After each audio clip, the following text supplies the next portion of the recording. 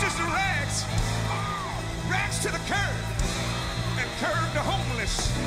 Cause I was an alcoholic and a crack cocaine addict. But I'm 19 years clean and sober, with nothing but water in my body.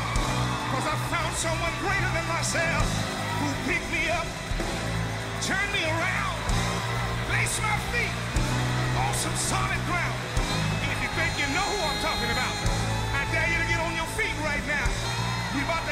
Much church up in here.